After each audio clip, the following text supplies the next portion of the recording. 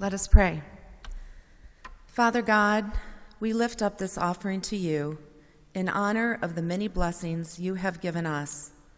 Thank you for your Son, Jesus Christ, who taught us not only to minister to others in need, but to show them compassion and love. Bless this offering. Bless the many volunteers who give tirelessly of their time to support the Northside Food Pantry. And bless our clients that through our food pantry, they might see the face of Jesus. We ask this in your Son's precious name. Amen.